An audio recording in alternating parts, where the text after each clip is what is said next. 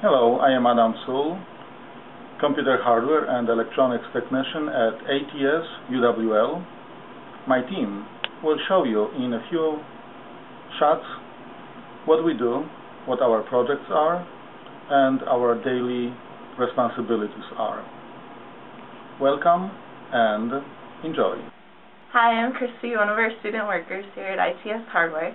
Um, right now we're in Wing 4, which is one of our workshops um, on campus. And um, is actually working on one of our new projects. We installed a portable smart board, and right now we're just um, checking functionality, and it looks like there's a couple more updates that need to be done. Um, so that should be done probably today. And then here's our workshop. Um, this is where we do a lot of our repairs, um, especially replacing power supplies. We do soldering here. Um, and uh, we have all of our tools here for us anytime we need, which is pretty convenient.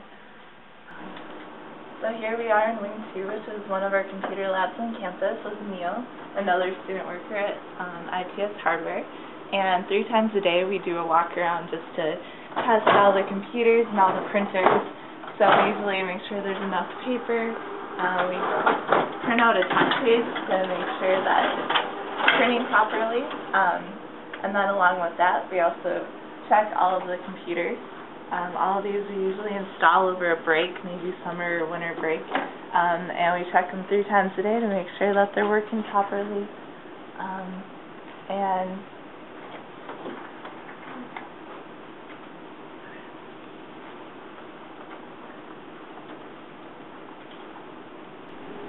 So this is Wing 15, which is one of our newly renovated classrooms on campus. Uh, just this summer, we installed this entire podium uh, with some new equipment, and this room is actually pretty unique in that it actually has three different screens that students can look at. Um, it also has a 955 OptiPlex computer and um, also a VCR, dock and laptop hookups. Um, so twice a day we come here to check the podiums to make sure that they're functioning properly. Um, also, in addition to that, we do our walk around in this room, check all the computers, make sure they're working properly. Um, and so far, so good in this room um, with newly um, updated computers. We also check the printer in this room too, just like in the labs, to make sure that the printouts are working um, and also the print release station to make sure that's functioning. So here we are in Wing 9, which is one of our main offices in Wing where we spend most of our time. Um, in this room we have two computers with dual monitors, which is pretty nice.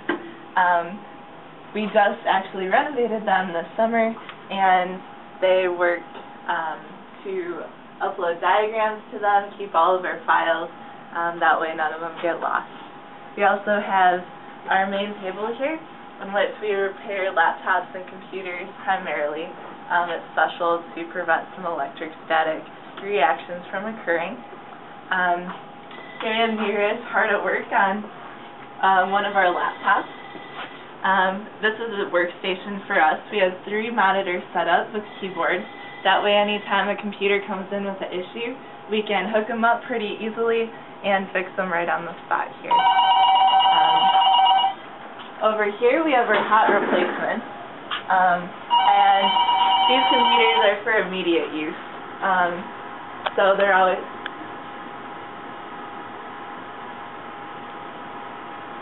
So um, here we have Neeraj answering a phone call. Um, a lot of professors tend to call us if they have problems in lectures.